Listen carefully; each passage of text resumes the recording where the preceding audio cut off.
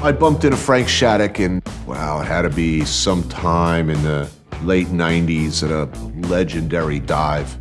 A tailor, who's also an actor, a boxer, and looks like, you know, the cast of Goodfellas.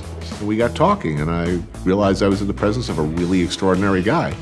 Basically, since that night, I've been thinking, what do I have to do to get one of those suits? What do I have to do?